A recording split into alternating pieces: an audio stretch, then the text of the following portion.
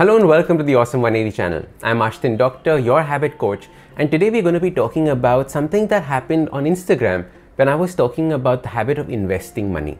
And this is a very interesting topic because many people wrote in saying, But Ashdin, how do you know when to invest? Right now, the markets are very bad, they're going very high.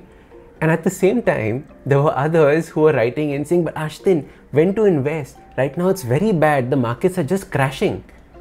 On the same day, two people with two different perceptions. Now, this is the problem with the way that people think about investing. You know, there is a wise person and the way that he invests, and then there are speculators, or there are people who just haven't learned enough about the market or are not secure enough to be investing. So, let's divide this up. Is the market good or bad at this point of time? If the market is going up, and you say, oh my God, it's so bad, market's going up, how do I invest right now? It, everything is so expensive, all the stock prices are so expensive. The wise person will say, good, the market is going up, all my investments are growing. You see the mindset shift? The markets are going up, good, it's good, it's growing.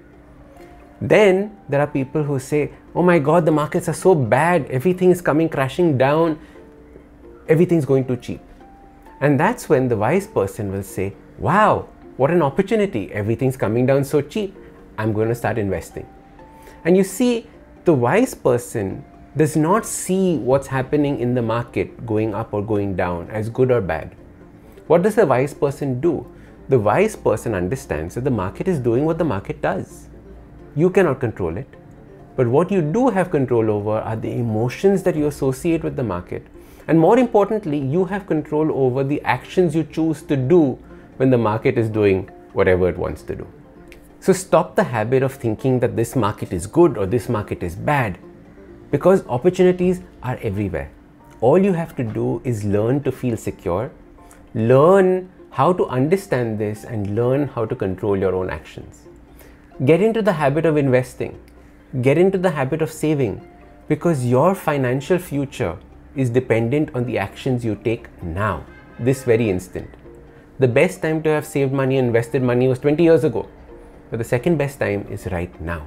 So start investing, start saving your money, and see your financial freedom, your financial future get secure and bloom. These kind of habits are very, very important if you want that awesome life. So don't forget to hit the subscribe button and that little bell icon because that will tell you when future videos come out. Also, there's a like button press that so other people know that this is a good video and come and see it.